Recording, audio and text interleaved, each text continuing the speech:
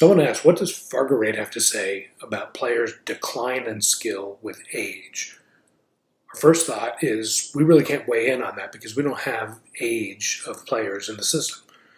On second thought, we can look at the players who played in BCAPL senior event in Las Vegas in March.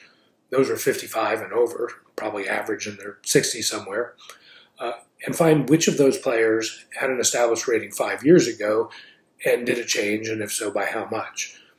Uh, every good experiment needs a control, and our control here is regular eight ball singles. We can look again at the players who played this year and also had an established rating five years ago and see what happened to their rating.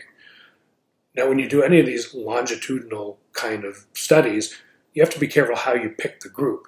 If we picked all the players who played eight ball singles five years ago and followed them all, their average rating would stay about the same because it would include people who quit the game, people who uh, slow down, just play a night a league, and people who've practiced and, and continue to play in tournaments.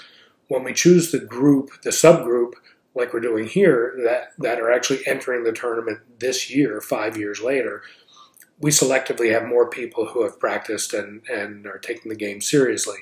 So this smaller group probably uh, improves. We would not be surprised to see uh, them improving.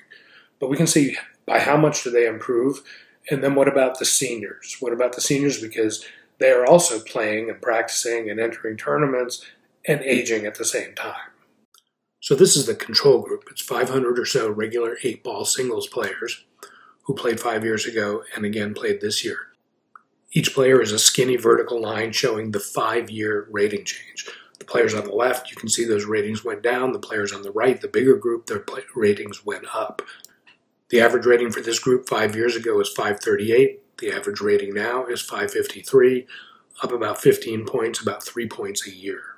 So what we can say is that three points a year is typical average improvement for active players. So what about the senior group? If they were not declining with age, we might expect them to improve by a couple of points a year because they're people who are continually active. Here's what we see. About half the seniors went up in rating over the five-year period and about half went down in rating. Overall, they stayed about the same on average. Uh, the, the average rating five years ago was 569. The average rating now is 570.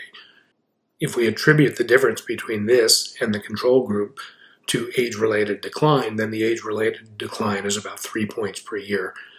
It's pretty modest.